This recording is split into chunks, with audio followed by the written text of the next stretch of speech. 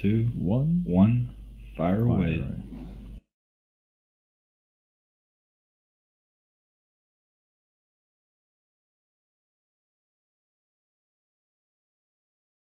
Oh, it's a good fight so far. Damn good fight so far.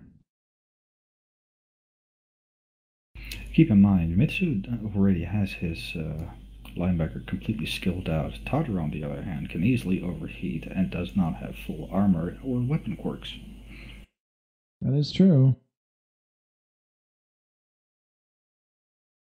We just sounded like a uh, football thingy. Commentator? Thank you. Oh, is going for the kill. Can he do it? Oh, Mitsu's armor just opened up. He might have a chance. Oh, Oh, and there goes his Getting arm. close. you're doing awesome. Can it- Including his torso.